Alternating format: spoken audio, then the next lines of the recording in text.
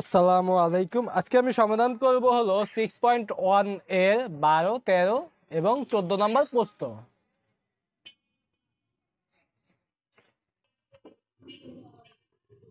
তো এখানে একটা পরাবৃত্তার উপকেন্দ্রিক লম্বের প্রান্ত বিন্দু দেওয়া দিচ্ছে আমাকে পরাবৃত্তার সমীকরণ নির্ণয় করতে হবে। তো আমি আগে একটু চিত্র আঁকি বুঝার সাথে। তো এটা ওয়াই অক্ষ, এটা এক্স অক্ষ। আমার পরাবৃত্তটা যদি এইটা হয় আর এটা হলো উপকেন্দ্রিক স্থানাঙ্ক মানে উপকেন্দ্রিক স্থানাঙ্ক। তাহলে উপকেন্দ্রিক লম্ব কোনটা হবে? এটা আচ্ছা এই একটা প্রান্ত বিন্দু এই একটা প্রান্ত বিন্দু এই দুইটা বিন্দু দেওয়া দিয়েছি। একটা মনে করো মাইনাস টু টু আর এটা হলো মাইনাস টু মাইনাস ফোর বুঝা গেছে? আশা করি বুঝা গেছে। এখন আমাকে কি করতে হবে? আমাকে এখন করতে হইব যে মানে কি বের করব? এখন দেখো, আমি এই দুইটা দূরত্ব কি উপকেন্দ্রিক লম্বের দৈর্ঘ্য? এখানে উপকেন্দ্রিক লম্বের দৈর্ঘ্য। উপকেন্দ্রিক লম্বের দৈর্ঘ্য।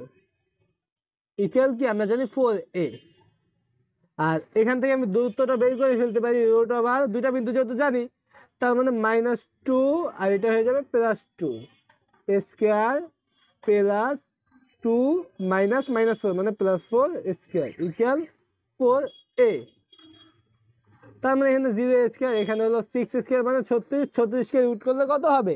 ছয় হবে। তার মানে ডাইরেক্ট ছয় লিখে দিলাম।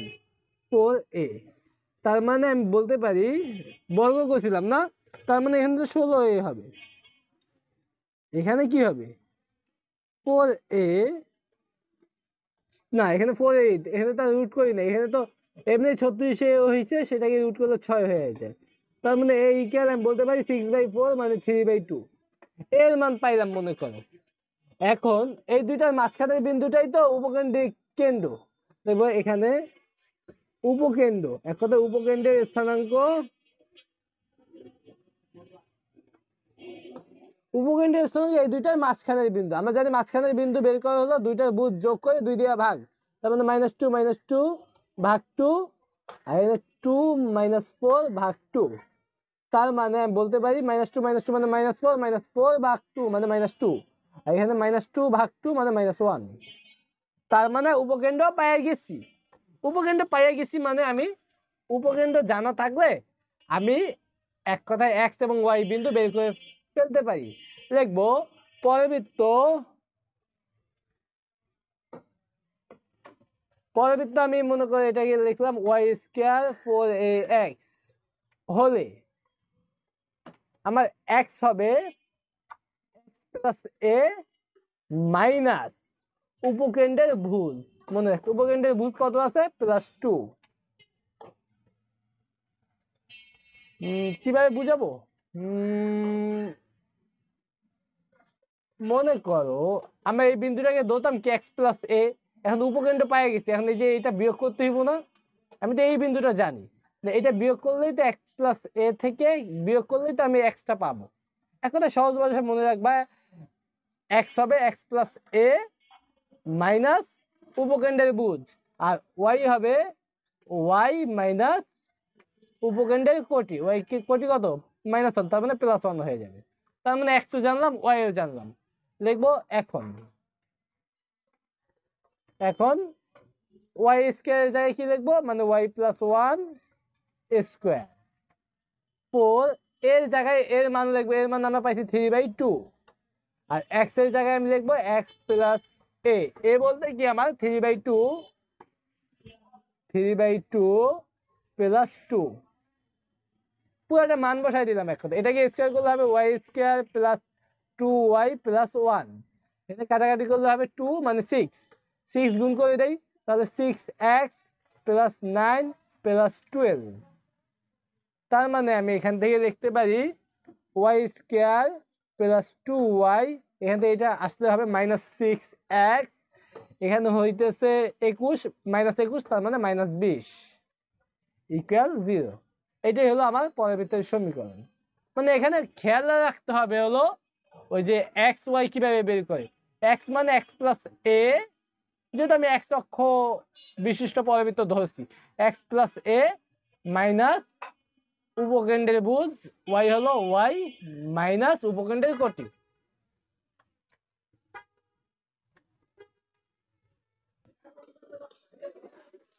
তো এখানে দেখাইতে বলতে এটা হলো একটা স্পর্শক আর এটা পরাবৃত্ত। মানে এই পরাবৃত্ত এটা স্পর্শক হবে যদি এটা হয় আর কি। তো লিখব দেওয়া আছে বা দেওয়া আছে। Y square equal four a x, এটা কি এক নাম্বার? আর l x plus m y plus n equal zero, এটা দুই নাম্বার। এই দুই নাম্বারটা হলো স্পর্শক। আমরা জানি পরবৃত্ত আর পরবৃত্ত স্পর্শক সমাধান করলে একটা সমীকরণ হয়। সেই সমীকরণের কি? মানে মূল, দুইটা মূল থাকে, সেই দুইটা মূল সমান হয়। তো সেই মানে ব্যাখ্যাটা কাজে লাগাই আমরা সমাধানটা করব। দেখো দুই হতে পাই। দুই হতে পাই। দুই হতে পাই। দুইকে একটু আমি সমাধান করব। তো সমাধান করলে কি দেখা যায়? যেমন এখানে দেখা যায় এম ওয়াই মাইনাস কমন নিয়ে এল এক্স প্লাস এন বা minus l x minus n তারপর মাইনাস কমন নিয়ে লেখা যায় যাক তারপর ওয়াই দিয়ে আমি লিখব minus l x plus n by m. Y by করলাম। এটা হলো ওয়াই এর মান, ওয়াই এর মান একে বসাই। একে বসাই। মানে এক আর দুই সমাধান করতেছি। এটাই তো দুই, তাই না? দুইকেই তো তিন বানাইলাম, মনে করো। এইটাই তো ওই দুইটা। দুই আর এক সমাধান করব। তো বসাইলে কি হবে? Minus l x plus n by m, এটাই তো y y square equal four a x. তো এটাকে বর্গ করলে কি হয়? আমি একটু দেখি। তো বর্গ করলে এখানে হবে মাইনাস তো বাদ, তার মানে আমি এখানে লিখতে পারব l x plus n whole square by m square equal four a x. তার মানে এটাকে আমি এই m পাশে পাঠিয়ে দিব নি। এটাকে বর্গ করি, বর্গ করলে হবে কি? L square x square plus two l n x plus n square আর এখানে হবে ফোর এম স্কোয়ার এক্স এটাই তো মোটামুটি পাওয়া যায়, তাই না? তারপর আমি এটাকে লিখব l square x square plus এই এটা এই পাশে আনলে এক্স কমন নিয়ে নেব। একদম এক্স কমন নিয়ে নেই ডিরেক্ট তাহলে two l n minus four a m square এটা তো এই পাশে কিন্তু minus plus n square n square equal zero এটাকে আমরা চার নম্বর সমীকরণ দিলাম। মানে এটা এই পাশে আইনে এক্স কমন নিছে আর কি। এখন আমি বলছিলাম মানে পরবৃত্ত আর স্পর্শকের সমীকরণ সমাধান করলে একটা সমাধান হবে। সেইটা নিশ্চয়ক মানে সেটা নিশ্চয়কের মান যদি মানে নিশ্চয়ক বলতে এক্সের মান যদি দুইটাই সমান হয়, তার মানে আমি বলতে পারব এইটা আসলেই স্পর্শক। কারণ স্পর্শক হলে নিশ্চয়কের মান সমান হবেই। এটাই ওর মানে বৈশিষ্ট্য। তো লিখব চার নং চার নং এ চার নং এ নিশ্চয়ক শূন্য নিশ্চয়ক নিশ্চয়ক শূন্য যদি দুই নং দুই নং একের স্পর্শক হয় তো আমার নিশ্চয় কীভাবে বের করে? বি স্কোয়ার মানে বি বলতে এক্সের সহগ। তার মানে two l n two l n minus four a m square b square minus four a c a বলতে l square x square c বলতে এন স্কোয়ার ইকুয়াল জিরো এইটা হবে, তাই তো? তো এটা হইল। তো এটারে আমি এখন কি করব? এটা বানাইলাম, তাই না? এখন এটাকে আমি বর্গ করব। যদি বর্গ করি, কেমন হবে? দেখি।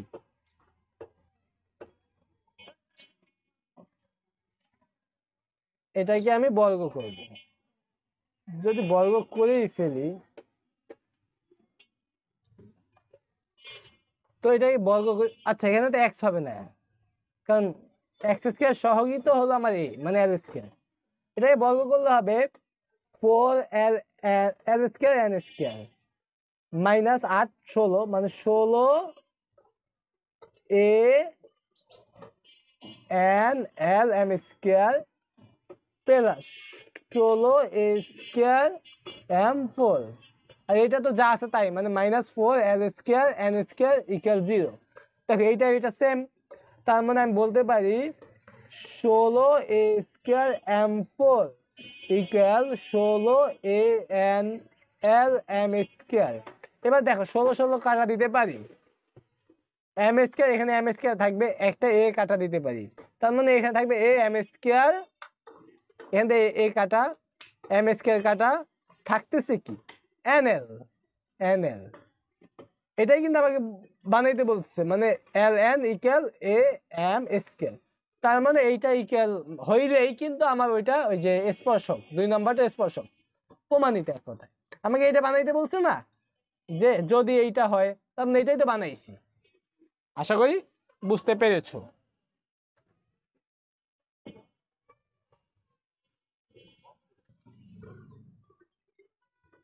এখানে।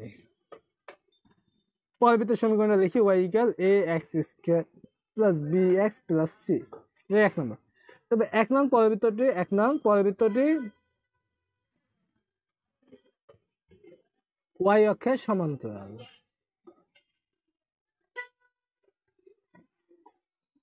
সহজ ভাষায় এরকম টাইপের মানে y equal a x square plus b x plus c এরকম পরবৃত্ত ওয়াই অক্ষের সমান্তরাল।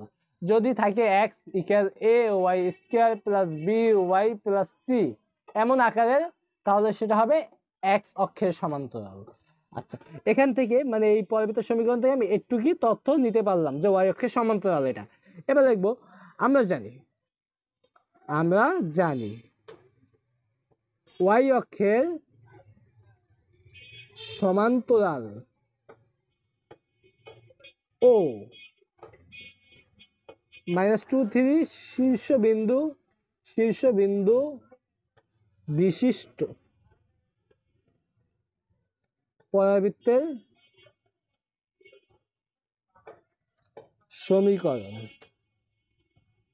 তো এমন টাইপের পরাবৃত্তের সমীকরণ আমরা জানি x square equal four a y মানে ওয়াই অক্ষের সমান্তরাল হইলে x square equal four a y যদি এক্স অক্ষের সমান্তরাল হইতো তাহলে সেটা হয়তো y square equal four a x যেহেতু ওয়াই অক্ষের সমান্তরাল, তার মানে x square equal four a y এখানে এক্স কি হবে? এখানে এক্স হবে এক্স মাইনাস শীর্ষবিন্দু ভুজ।